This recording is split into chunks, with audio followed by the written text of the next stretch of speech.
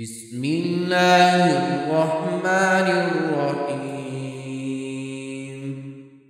ألهاكم التكاثر حتى زرتم المقابر. كلا سوف تعلمون ثم كلا سوف تعلمون. كلا لو تعلمون علم لترون الجحيم. ثم لترونها عين اليقين. ثم لتسألن